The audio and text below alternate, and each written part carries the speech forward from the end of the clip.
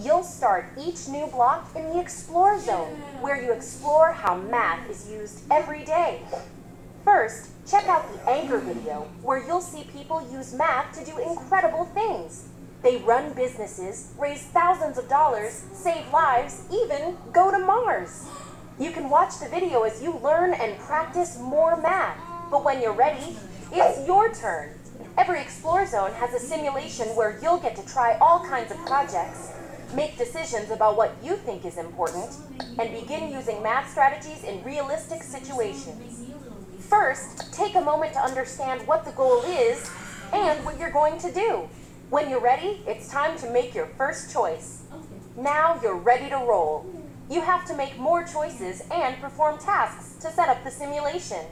Listen carefully and keep an eye on your goal.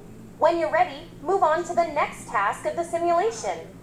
Once you finish making all your choices, it's time to run your simulation to see how you did. And don't worry if you mess up. Remember, the whole point of simulations is to try out different ideas and make different plans. There's no single right answer.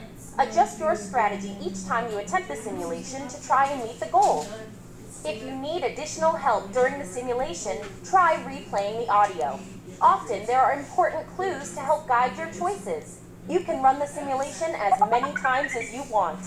When you feel like you've got your best answer, you can lock your plan at the end of the simulation. Remember, as you practice and improve your math skills, you'll get to come back and try a different plan in the same simulation. That's it! The anchor video and the simulation will remind you why math is so important.